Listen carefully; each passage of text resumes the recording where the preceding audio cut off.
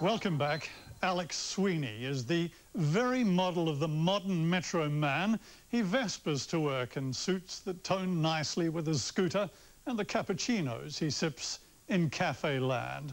He's co-founder of The Heart of the City, Auckland City that is, a CBD lobby group that lately has been getting right up the noses of politicians.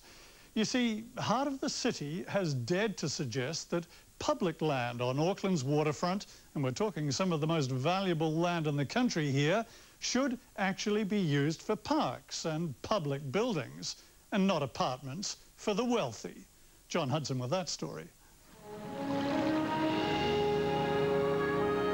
Auckland's waterfront. It's worth billions. It's gold. It's gold real estate. Coastal real estate. It's probably the most valuable real estate in New Zealand.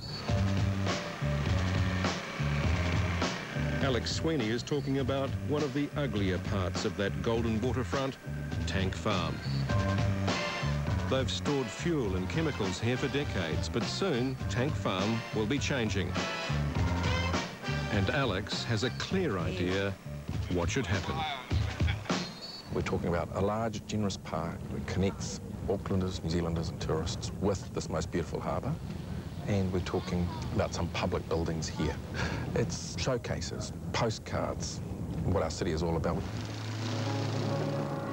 Postcards like Bilbao's Guggenheim, Chicago's Millennium Park, Valencia's L'Hemisfèric, and of course, Sydney's Opera House.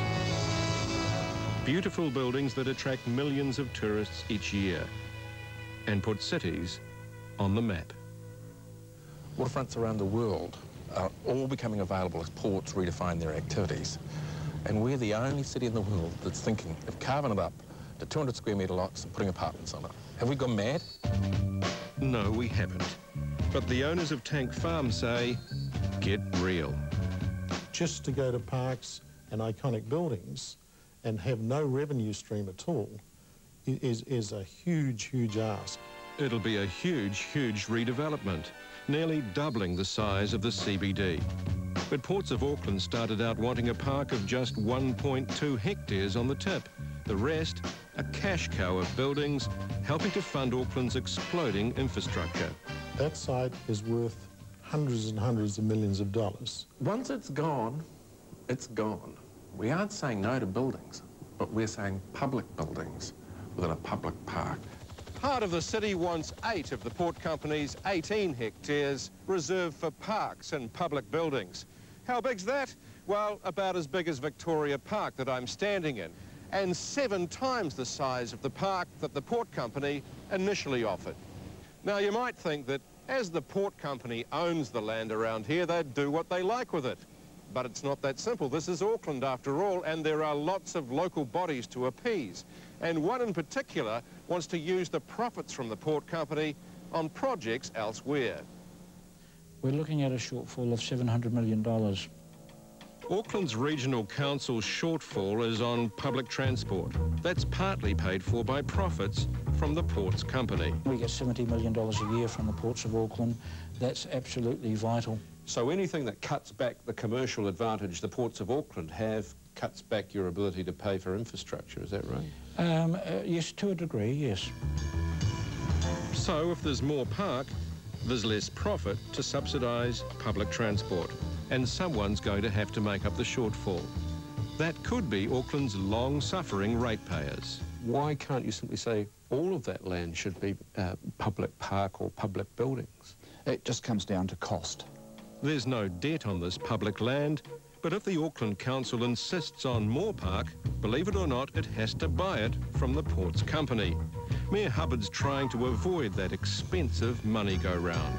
I've got to make sure then that we don't unfairly penalise the ratepayers and residents of Auckland City, whereby we put in several hundred million dollars into the tank farm.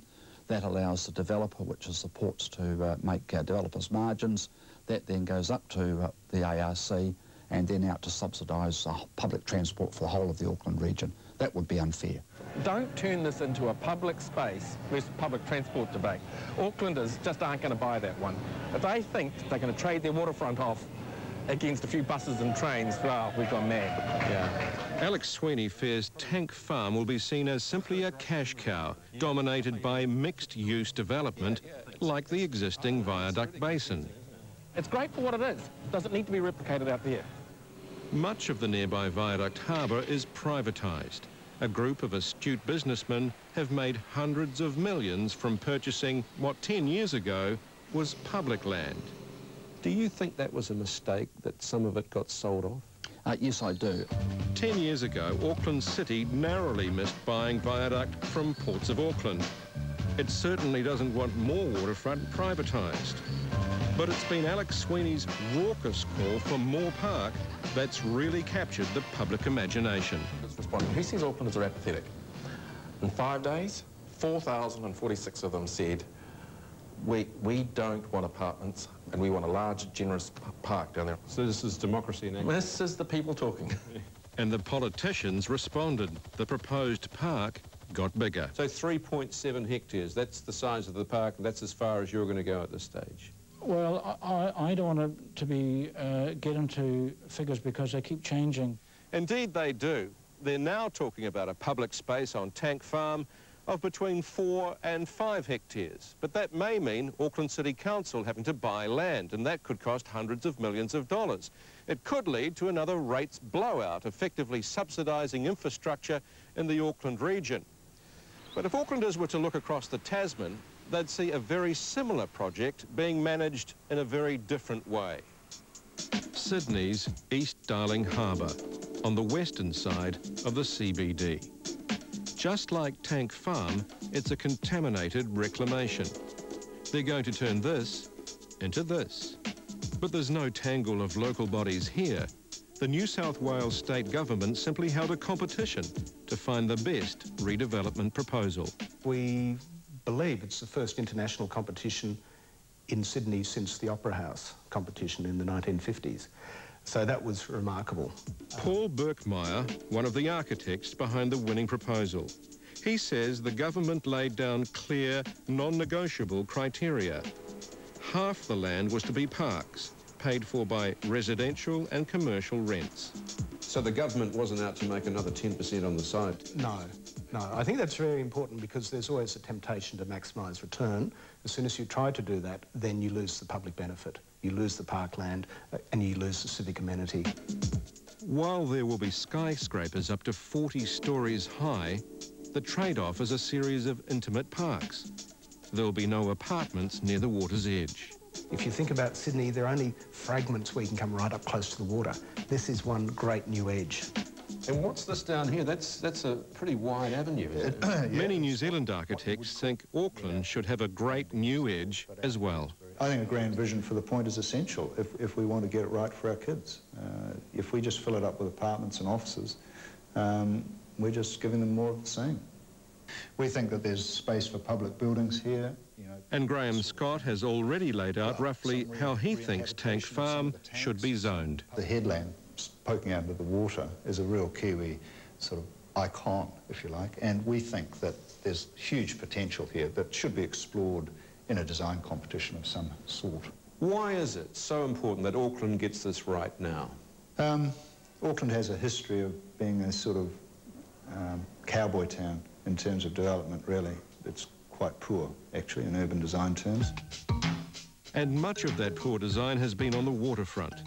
For 150 years, Aucklanders have been filling in the harbour, at times building dodgy structures on the reclamations. Once there was even a meatworks on the wharves. That's long gone, but they're still making land for more wharves, dumping rocks in the harbour. Many cities overseas moved their ports away from the city centre years ago, but Auckland missed the boat, opting instead to expand its container port further east. And the dodgy building nearby continues. Alex Swney fears the Cowboys haven't left town. Well, in 1989, when it was first planned, the, it was described as being a world-class gateway to the city. So you've got the Rubber Dub and Frank Allen Tyres and Midas, and you've got McDonald's and KFC. I mean, they are world-class, uh, you know, world-class businesses. Yeah, they are world-class businesses, but this is not, they have a place to play, but it's not here. Aucklanders were promised generous public spaces in this world-class gateway to the waterfront. They got a world-class view of shipping containers. So this is it? This is Britomart? Wonderful, isn't it? A few hundred metres away is Auckland's new transport hub, Britomart. Thousands will pass through here on their way to Auckland's new stadium. But there's a problem. So the pedestrians who are coming from Britomart to the new arena come straight through here. How did this happen? This is the main corridor and it ends up at the loading dock. it's madness. 12,000 seat arena, 164 yeah. car parks. So yeah, a lot of people are going to have to access this way, aren't they? Yeah, yeah, lots. Hmm? And then there's the Stalin-esque row of new apartments successfully blocking sight lines to the sea. Mayor Hubbard's unimpressed. Can you guarantee that we won't be seeing that sort of thing down near Tank Farm? I can give you an absolute commitment as Mayor of Auckland. I will move heaven and earth to make sure that that doesn't happen. Alex Swney puts Auckland's bungles down to piecemeal planning. He's heard the buzzwords before, he's heard the promises. But he reckons what's happened at the eastern end of town could just as easily happen out west. I think everyone's admitting that we got it very wrong. But when we see that same word, mixed use, happening on our waterfront, and the same authors of those reports in 1909 preparing this plan, Aucklanders should, New Zealanders should be worried, very worried. I would have thought that we, the right thing to do would be wait and see what the plan is, and then criticise the reality rather than your assumption of what you think it may be. Auckland's civic leaders say, trust us. We're working together to ensure there's no bungling this time. What's more, the latest world-class vision, they say, will be up for further scrutiny once it's released. What we are seeking is a plan change, a bunch of words and, and some pieces of paper which become the rules under which the site gets developed on. The words that will reshape the Auckland waterfront are once again being revised. And Alex Swney knows it's the words that are crucial. So it's very important that we get the words right in 2006 so that what we're doing in 2066 is coming out right.